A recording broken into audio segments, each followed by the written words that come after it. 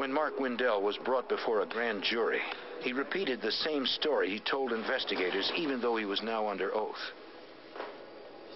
He said he accepted the stolen white car from the dealership, but someone had stolen it from him the next morning.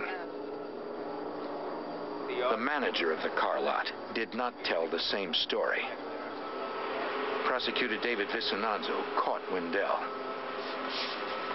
Turns out Mark Wendell lied under oath, and we were able to prove it. We indicted him for perjury and obstruction of justice, charged him, took him to trial, and convicted him. Mark Wendell, because of the seriousness of the crime, uh, was uh, received a sentence of 10 years in the federal uh, prison.